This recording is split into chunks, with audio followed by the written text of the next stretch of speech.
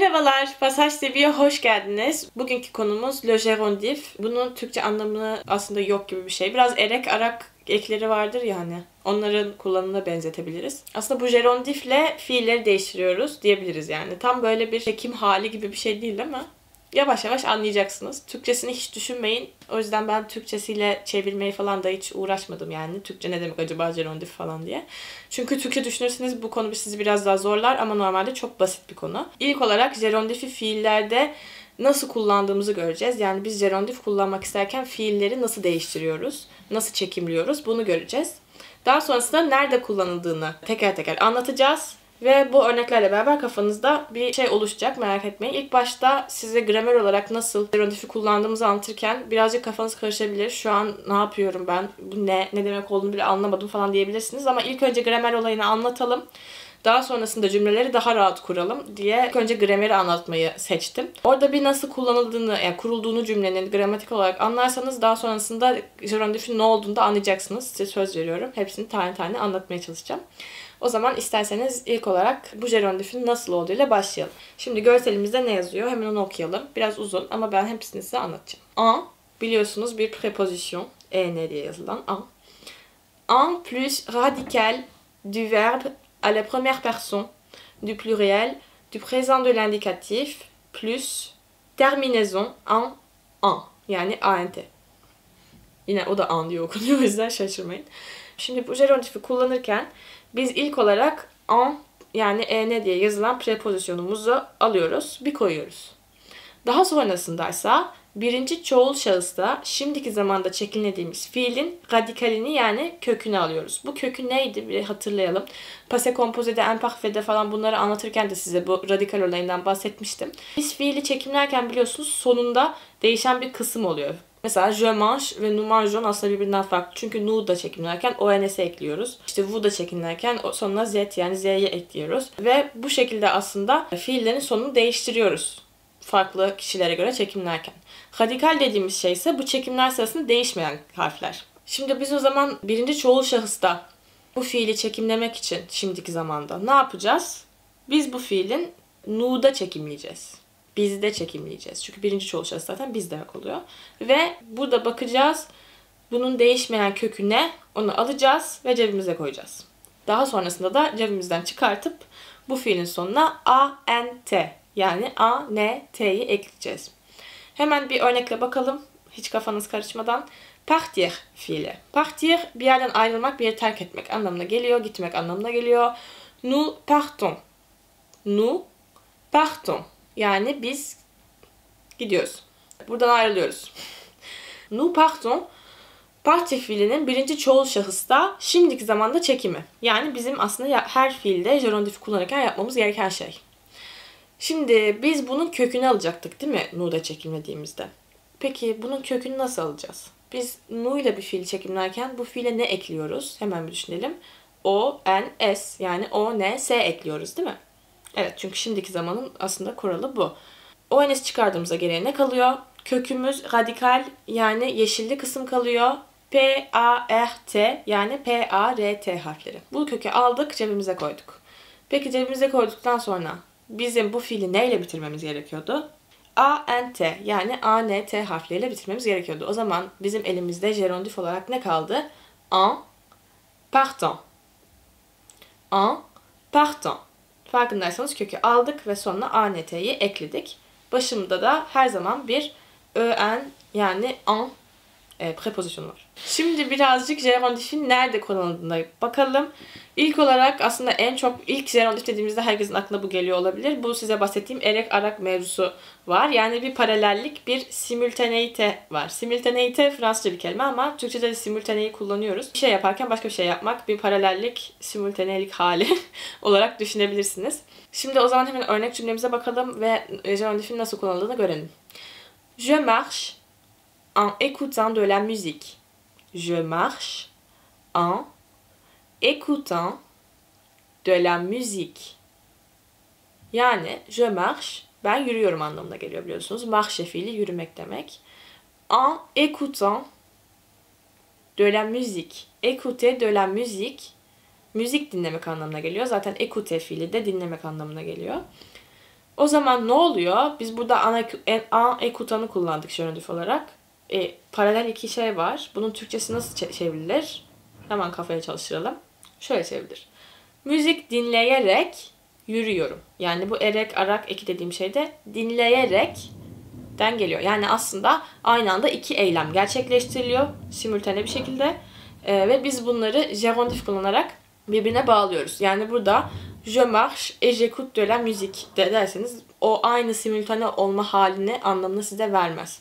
Yürüyorum ve müzik dinliyorum anlamına gelir. Ama je marche en écoutant de la musique dediğimizde müzik dinleyerek yürüyorum diyoruz. Yani bu paralellik halinde gerondif kullanılıyor.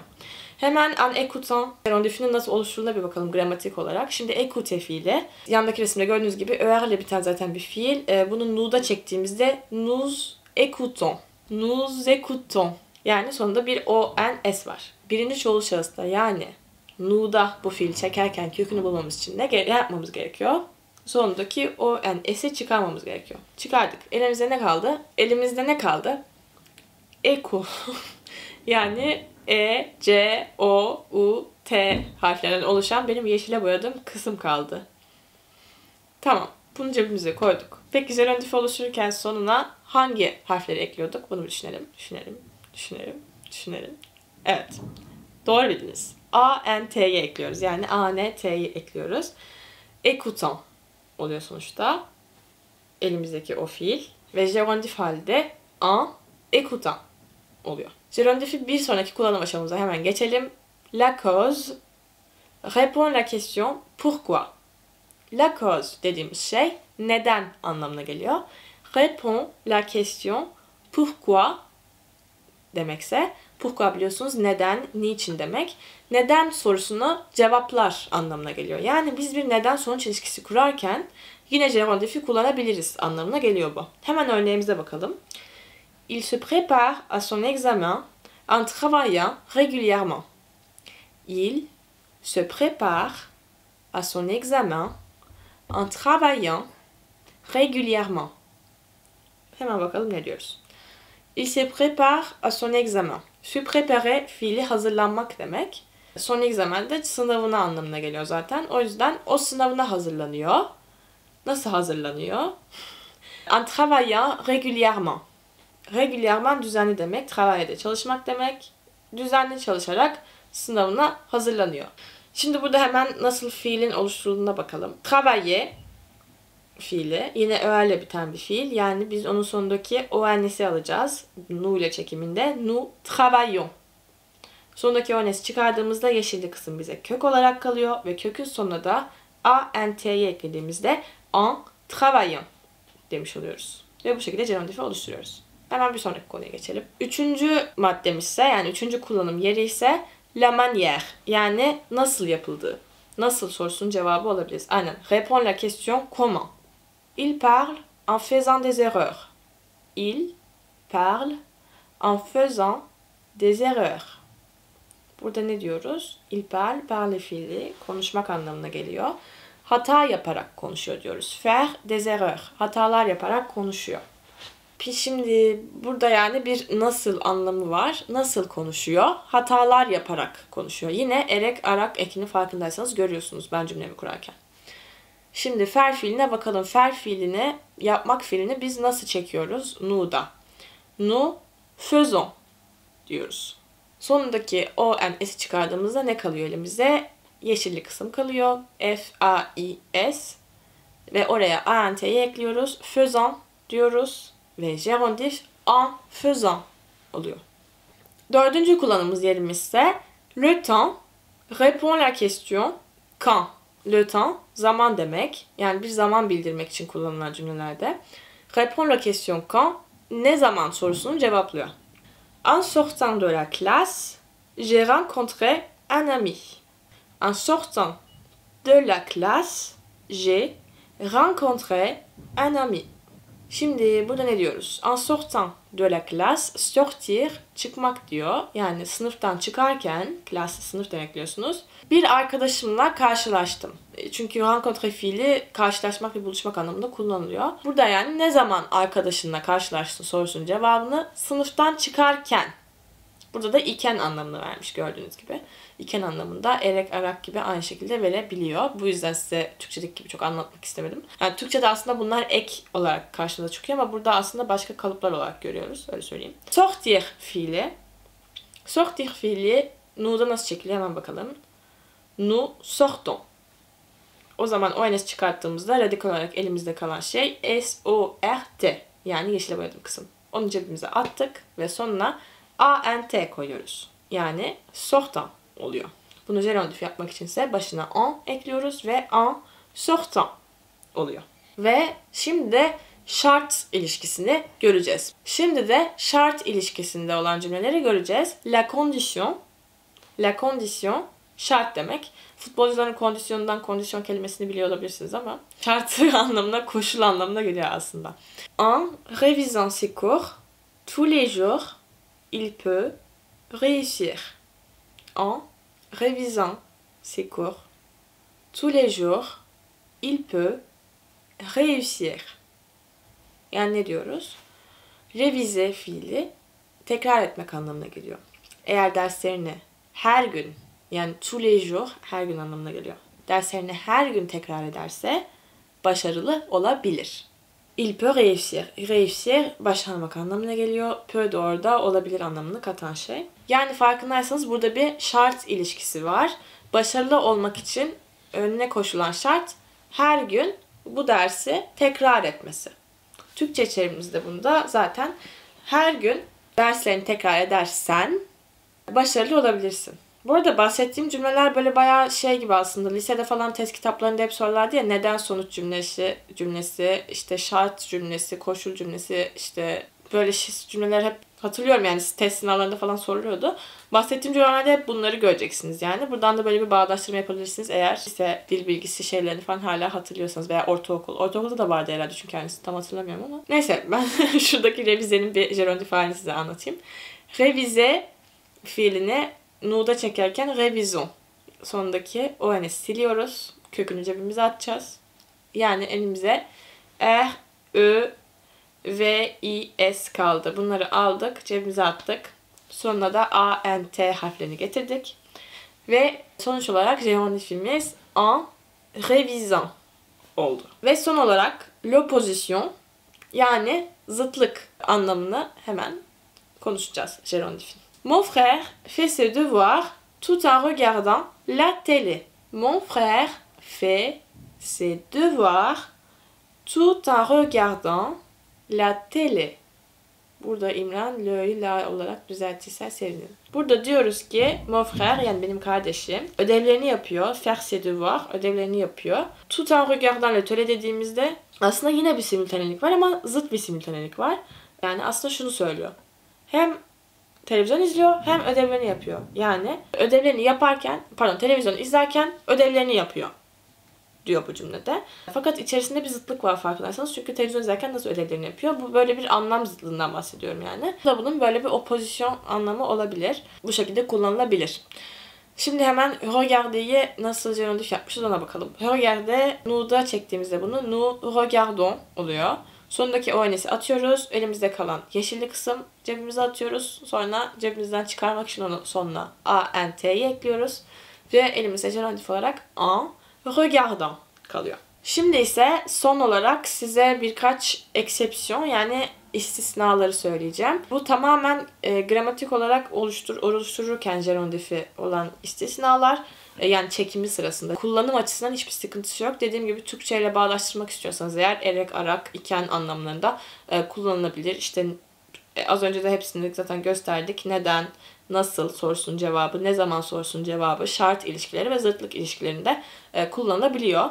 Fakat sanırım en yaygın olarak paralel olarak yapılan iki eylem, aynı anda yapılan iki şey, simultanelik bunlardan bahsedebiliriz. En yaygın bu şekilde görüyoruz. Aslında yani gerundif deyince aklımıza direkt o geliyor fakat dediğim gibi aynı zamanda bir neden sonuç ilişkisi, bir nasıl sorusunun cevabı, ne zaman sorusunun cevabı bu cümlelerle kurulabilir. Bir zıtlık oluşturulabilir. Koşul cümleleri kurulabilir. Evet şimdi ise istisnalarımıza gelelim. Üç istisnamız var. Biri être fiili, diğeri avoir fiili, diğeri ise savoir fiili. Zaten çok şaşırmadık. Ee, ilk olarak être fiilinden bahsedeceğiz. Être fiili daha önce de bir sürü kere anlattığımız gibi olmak anlamına geliyor. Olmak fiilinde normalde biz nu'da nu'da çekim yapmaya çalışırsak diye düşünelim. Nous étions diye çekiyoruz. Ve elimizde eti diye bir kök kalıyor. Ama siz şimdi bunu kafanızdan çıkartın. Çünkü nu'da çekmiyoruz biz et fiilini gerondif yaparken. Bir takım istisnalar oluşturmuşlar ve e, olmak, sahip olmak ve sabah yani bilmek fiillerinde Gerondifi aynı şekilde size bahsettiğim gibi nu'dan işte kökü çıkarttım da ant'yi ekledim gibi yapmıyorlar. Bunun yerine yeni kendileri kafalarına göre istisnai gerondif kullanımları, fiil çekimleri yerleştirmişler biliyorsunuz. Fransızca'da fiil çekimlerinde istisnalarla karşılaşmak zaten çok başımıza gelen bir şey. O yüzden hiç o nu'ları falan karıştırmayalım. Direkt bu çekimlerini öğrenelim ve kafamıza kazıyalım istiyorum. Bahsettiğim gibi böyle 3 tane istisna fiil var. Bunlar da être, avoir, savoir. Hemen örneklerimize bakalım. Être fiili gerondifte en, étant şeklinde yazılıyor. Örneğimizi okuyalım hemen. Elle gardait quatre enfants tout en étant salariée dans une entreprise. Ee, bu arada cümlede e, bir kadından bahsediyorum. Salariye derken sonuna bir tane daha e koymam gerekiyordu ama onu koymamışım. Koymayı unutmuşum. Gözden kaçmış. Kusura bakmayın. Burada ne diyoruz hemen ona bakalım. Elle gardait quatre enfants. Yani dört çocuk bakıyordu. Tout en étant farkındaysanız başına tu koyduğumuzda tout en étant dediğimizde bir zıtlık e, ilişkisi oluyor tout en étant salarié dans une entreprise. Yani diyoruz ki burada bir şirkette çalışırken demiyoruz aslında çünkü travailler kullanmıyoruz. Être salarié diyoruz. Yani çalışan olmak diyoruz aslında fiil olarak. Ee, bir şirkette çalışan olurken aynı zamanda Türk, Türkçe'de böyle çok kullanmadığımız için size garip geliyor olabilir ama Fransa'da être salarié bayağı kullanılıyor. Dört çocuk bakıyordu diyoruz. İkinci istisnamız avoir. Avoir da en ayant en ayant diye e, yazılıyor gerondifte. Farkındaysanız nu'daki çekimiyle falan filan hiçbir alakası yok. Araya bir y falan eklemişler. Hemen örneğimizi okuyalım. Le bébé pleurait en ayant besoin de sa mère. Le bébé pleurait en ayant besoin de sa mère. Burada aslında bir neden sonuç ilişkili bir örnek kurmuşuz. Bebek ağlıyor diyoruz. Le bébé pleurait, ağlıyordu diyoruz. Ayant besoin de sa mère. Burada da yine avoir besoin de fiilini kullanmışız aslında avoir fiiliyle. Biliyorsunuz ihtiyacı olmak anlamına geliyor. Bu ihtiyaç halini avoir fiiliyle beraber avoir besoin de halinde kullanıyoruz. Ee, dolayısıyla çekimde yine ayant diye kalıyor. Peki neden bebek ağlıyor? Annesine ihtiyacı olduğu için ağlıyor. Orada avoir besoin de de fiilinde yani ihtiyacı olmak fiilinde avoir'da en, ayant şeklinde çekiyoruz. Üçüncü istisnamız ise savoir yani bilmek.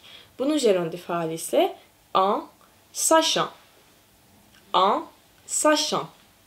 Ee, Saşan aslında bayağı karşınıza çıkan bir şey. Daha ilerlemiş halinde böyle bir şeyler okurken işte Saşan köy falan filan gibi bir sürü e, şeyler görebilirsiniz. Bu da aklınızda kalacaktır diye düşünüyorum. E, çok sık karşılaşacağınız şeylerden biri aslında. Bu üç istisnayla da çok sık karşılaşacağınızı düşünüyorum çünkü e, günlük hayatınızda. J'ai continué mes études en sachant que les cours sont très difficiles. J'ai continué mes études en sachant que les cours sont très difficiles. Yani burada diyoruz ki derslerin çok zor olduğunu bilerek eğitimime devam ettim. Continue fiili o da devam etmek anlamına geliyor. En sachant que bilerek anlamında kullanıyoruz. Zaten les cours sont très difficiles cümlesinde derslerin zor olduğunu e, bize söylüyor. Evet, Gerondif ile ilgili bir videomuz bu kadardı. Sorularınız olursa e, yorum olarak e, aşağıya bırakabilirsiniz. Aynı zamanda biliyorsunuz YouTube'un yeni bir üyelik sistemi var. Siz de bizlere destek olmak için bu üyelik sistemine dahil olmak için, bize üye olmak için katıl butonuna tıklayabilirsiniz. Çok teşekkür ediyoruz. Videomuzu beğenip paylaşmayı ve abone değilseniz hala abone olmayı unutmayın lütfen. Görüşmek üzere, hoşçakalın.